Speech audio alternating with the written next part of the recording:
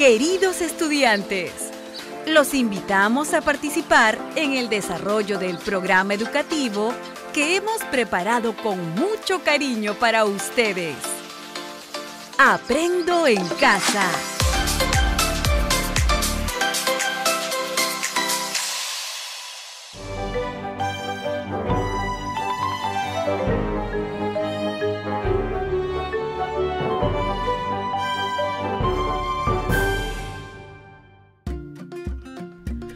Buenas tardes familias de todo el Perú, niñas y niños del primer y segundo grado de educación primaria. Bienvenidas y bienvenidos a nuestro programa radial Aprendo en Casa, una iniciativa del Ministerio de Educación. Mamá, papá u otro familiar, recuerden acompañar y animar a sus hijas e hijos en el desarrollo de las actividades propuestas en este programa. Su participación es muy importante. Gracias. Soy la profesora Rosa y los estaré acompañando junto a nuestra amiga Micaela y a nuestro amigo Francisco. Hola amigas y amigos y profesora Rosa. ¿Cómo están? Me siento muy contento de estar aquí nuevamente con ustedes. Buenas tardes amigas y amigos. Profesora Rosa, ¿cómo están? Me siento alegre de aprender junto a ustedes. Niñas y niños, me da gusto saber que se encuentran bien. Así como ustedes, también me siento contenta de poder compartir un día más de aprendizajes maravillosos. ¿Qué debemos tener listo para iniciar el programa? Yo sé, profesora. En nuestro lugar de trabajo debemos tener nuestras hojas de reuso, borrador, tajador y lápiz. Es cierto, profesora, y nuestro espacio debe estar limpio y en orden. Así es. Sé que las niñas y los niños que nos escuchan en sus casas también están preparadas y preparados para iniciar. Bien, comencemos el programa. Como ya saben, es muy importante recordar nuestras prácticas de higiene diaria. Lavarnos las manos con agua y jabón varias veces al día. Si salimos de casa, colocarnos correctamente la mascarilla. Cubrirnos la boca y la nariz con el antebrazo al toser y estornudar. ¿Saben por qué debemos realizar estas prácticas de higiene diaria? Porque debemos seguir manteniendo el cuidado de nuestra salud. Sí, y la salud de los demás. ¡Exacto! A seguir cuidando nuestra salud. Una vez más, damos la bienvenida a las niñas y los niños del primer y segundo grado de primaria que nos escuchan. ¿Ya están listas y listos para iniciar un nuevo programa? ¡Sí! Antes de iniciar, quiero preguntarles, ¿se acuerdan sobre qué dialogamos en los programas anteriores? Comenten su respuesta con el familiar que los acompaña. ¿Quién comparte su respuesta? Tengan presente que todas las ideas son valiosas. Yo. Hablemos sobre las costumbres que tienen nuestras familias y las que hay en nuestra comunidad. También conversamos sobre lo importante que es respetarlas. Muy bien, niñas y niños. Y díganme, la gastronomía típica, es decir, la comida propia de un lugar, ¿será parte de las costumbres? Sí, profesora Rosa. ¿Por qué? Porque es la comida que representa a ese lugar. Y las familias la preparan. Muy bien, estuvieron atentos. Les cuento, nuestro programa se titula Reconozco a la gastronomía como expresión de la diversidad de mi región. Repito, nuestro programa se titula Reconozco a la gastronomía como expresión de la diversidad de mi región. Profesora Rosa, ¿y qué aprenderemos en este programa? Bien, aprenderemos a deducir, es decir, a entender la información del texto que vamos a escuchar y a explicarla con nuestras propias palabras. Repito, aprenderemos a deducir, es decir, a entender la información del texto que vamos a escuchar y a explicarla con nuestras propias palabras. ¿Y cómo aprenderemos, profesora? Buena pregunta, Francisco. Les comento. Primero, escucharán un texto sobre los platos típicos de una región. Luego, con el familiar que los acompaña, dialogarán sobre el contenido del texto escuchado para resolver unas preguntas. Después, escribirán sus respuestas y las explicarán con sus propias palabras. Al final, dibujarán y describirán los diferentes platos típicos de una misma región. Ya quiero escuchar el texto. Profesora Rosa, ¿nos va a leer el texto? Sí, voy a ir leyendo poco a poco el texto.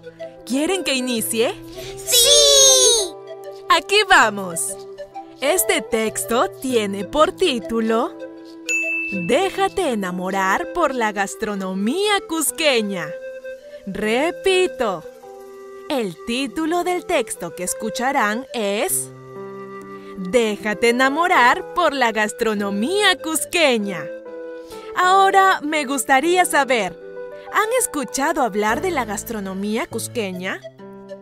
Repito, ¿han escuchado hablar de la gastronomía cusqueña? Compartan sus ideas con el familiar que los acompaña. ¿Quién quiere compartir su respuesta? Yo, profesora. Sí, he escuchado hablar de la comida cusqueña, pues tengo familiares que son del Cusco. Yo no he escuchado sobre la gastronomía cusqueña, pero hoy voy a aprender mucho sobre ella.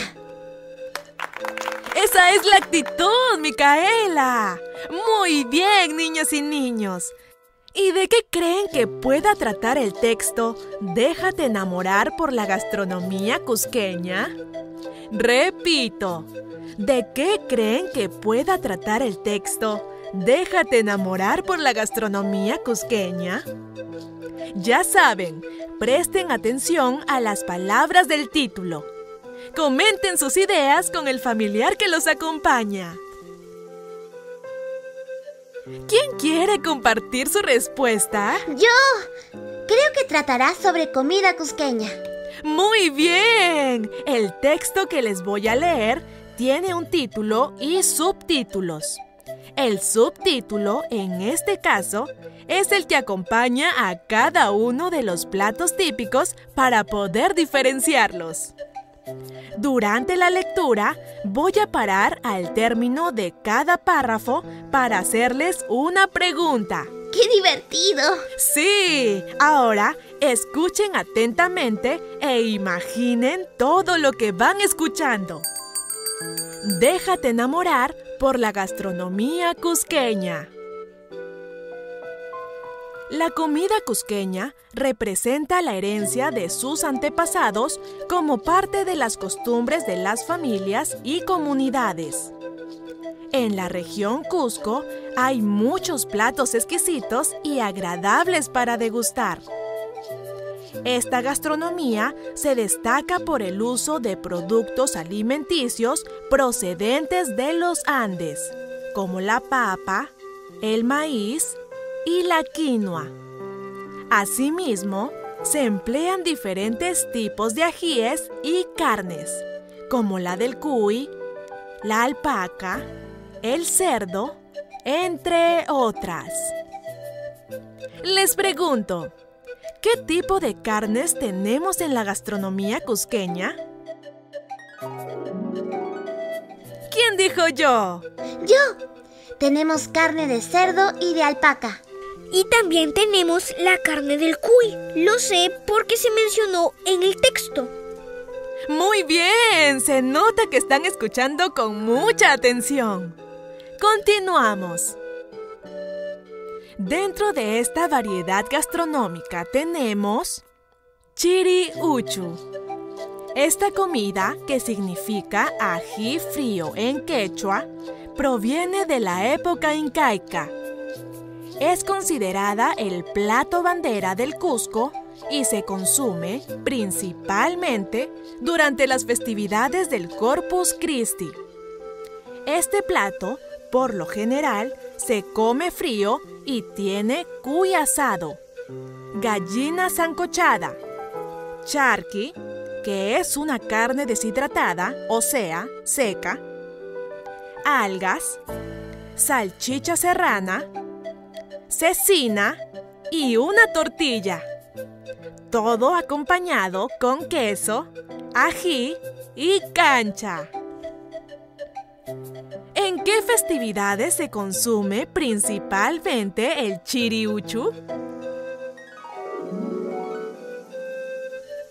¿Quién quiere responder? Yo, en las festividades del Corpus Christi. Bien, Francisco. Siguiente párrafo. Presten atención. Chicharrón cusqueño. Cusco, el distrito de Saya es el paraíso del chicharrón. En fiestas patrias se realiza el Festival del Chicharrón y todos los habitantes de esta localidad se reúnen para disfrutarlo. Este plato contiene carne de cerdo frita en su propia grasa, yuca, hierbabuena, mote, cancha y zarza criolla. ¿Qué ingredientes son necesarios para preparar el chicharrón cusqueño? ¿Quién quiere dar la respuesta? ¡Anímense! Tiene mote, cancha, yuca, hierbabuena y carne de cerdo frita. También tiene zarza criolla. Muy bien, esa es la respuesta. Excelente, niñas y niños. Continuamos con la lectura. Chuño Lagua. Esta sopa, hecha a base de chuño, papa secada al sol, arroz, diversos tipos de carne, salchicha serrana, papas y garbanzos, tiene su origen en la época incaica y se consume más en las zonas altoandinas de la región Cusco. También es conocida como chuño cola y se la puede disfrutar en cualquier época del año. ¿Con qué otro nombre se conoce al chuño lagua? ¿Quién responde? ¿Quién dijo yo? Yo. Se conoce con el nombre de chuño. Oh, chuño. Ay, no recuerdo, profesora. ¿Chuño cola? ¿Qué podemos hacer para hallar la respuesta? Mm, ¿Podemos volver a escuchar esa parte del texto?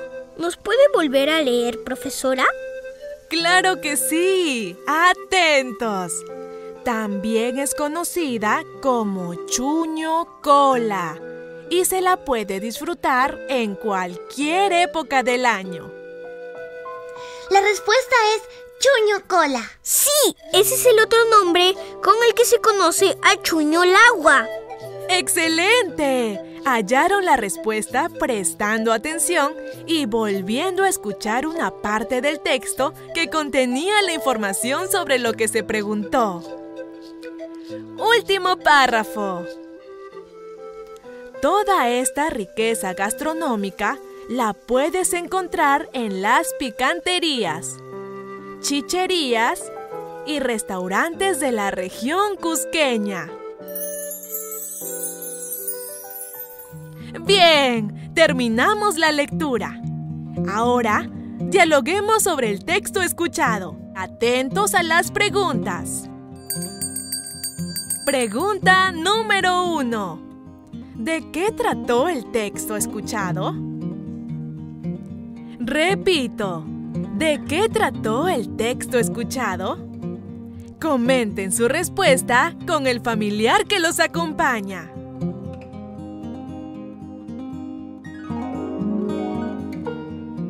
El texto trató sobre la gastronomía cusqueña. Bien, Micaela, tienes razón, esa es la respuesta.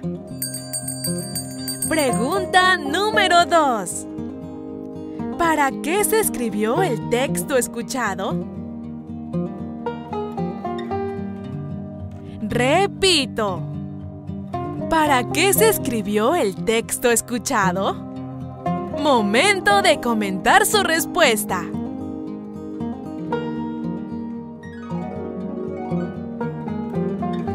Se escribió para contarnos cómo son algunos platos típicos del Cusco. Bien, Francisco. ¿Y cómo lo supiste? Lo supe porque en el texto escuché hablar de la quinoa, del charqui, del maíz, del cuy y otros más que se usan en la comida típica de ese lugar. Nos decía cómo era y qué tenía cada plato. Bien, Francisco. El texto nos cuenta sobre cómo es cada plato, qué ingredientes se usa en su preparación y en qué momento se consume. Es decir, se describió brevemente cada plato. Pregunta número 3. ¿Cómo creen que aprendieron a cocinar esos platos típicos en Cusco? Repito. ¿Cómo creen que aprendieron a cocinar esos platos típicos en Cusco? Compartan su respuesta con el familiar que los acompaña.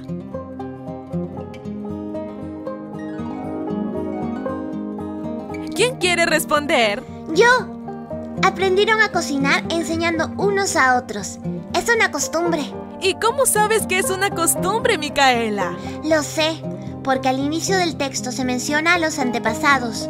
Y nuestros antepasados son nuestros padres, abuelos y bisabuelos, que enseñaron las recetas. Muy bien, Micaela. La comida cusqueña es una herencia que pasa de generación en generación, es decir, de padres a hijos. Pregunta número 4. ¿Qué se dice de la gastronomía cusqueña en el texto escuchado? Repito, ¿qué se dice de la gastronomía cusqueña en el texto escuchado? Compartan su respuesta con el familiar que los acompaña.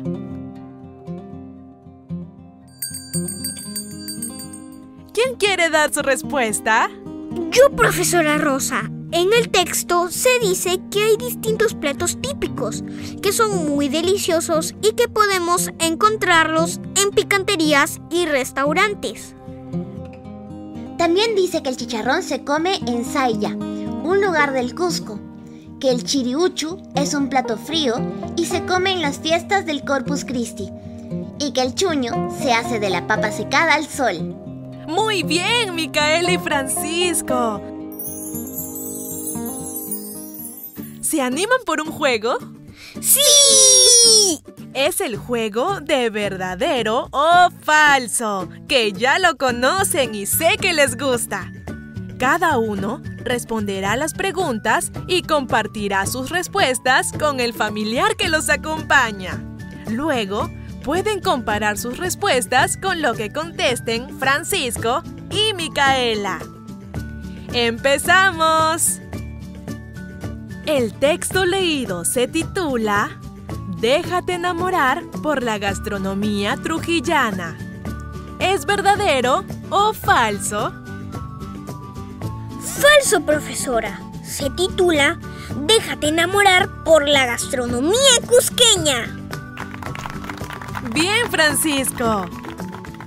Algunos de los ingredientes del chiriuchu son cuy, gallina, charqui, queso y tortilla. ¿Es verdadero falso? Es verdadero porque escuché que todos esos ingredientes se usan en el chiriuchu. Respuesta correcta. Estuviste atenta a la lectura. Bien. El chuñulagua es un postre. ¿Es verdadero o falso? Falso, profesora. Es una sopa. Muy bien, Micaela. Esa es la respuesta. ¡Los felicito! Estuvieron atentas y atentos al texto leído. Para finalizar, dibujarán dos platos típicos de la gastronomía de Cusco. Luego los describirán, es decir, explicarán a su familia con sus propias palabras cómo son los platos típicos que han dibujado. Repito, dibujarán dos platos típicos de la gastronomía de Cusco. Luego los describirán, es decir, explicarán a su familia con sus propias palabras cómo son los platos típicos que han dibujado. Recuerden que este trabajo irá en la galería que presentarán al finalizar esta experiencia de aprendizaje. Bien, ¿creen que lograron el propósito de la clase? ¡Sí, lo logré! También lo logré. Niñas y niños que nos escuchan, estoy segura de que ustedes lo lograron. ¡Felicitaciones por el buen trabajo!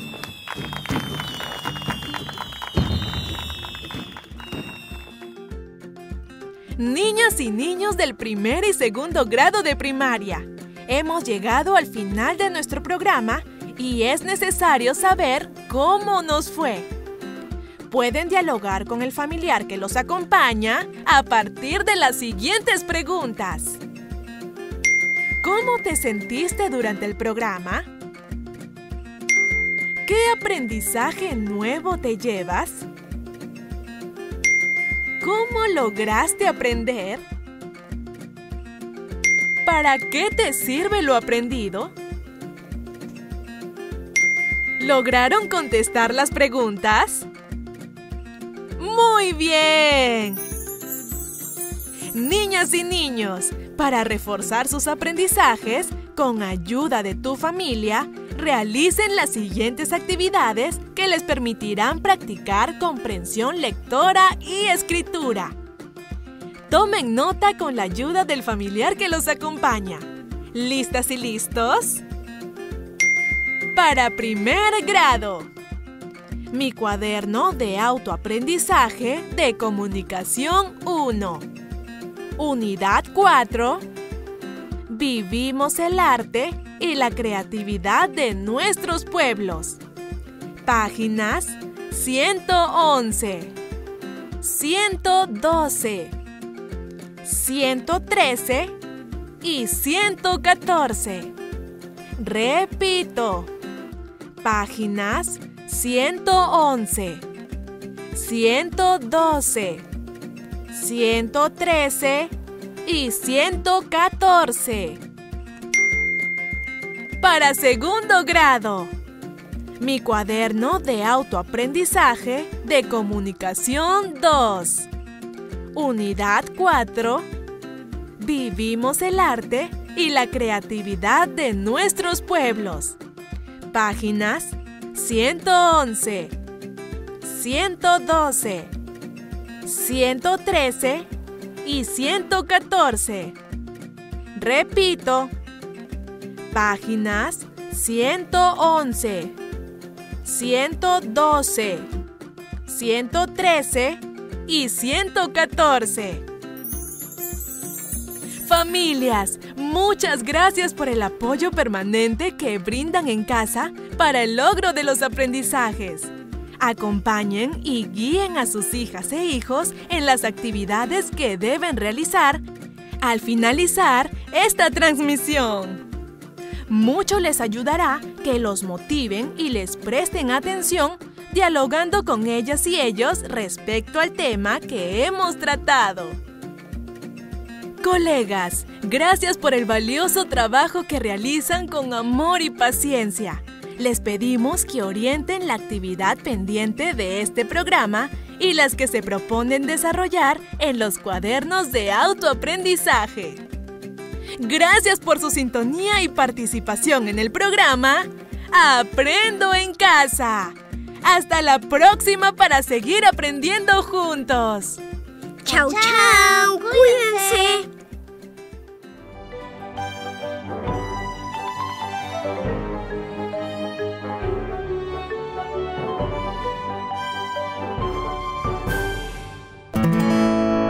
Esto fue Aprendo en Casa. Ministerio de Educación. Bicentenario del Perú, 2021. Gobierno del Perú.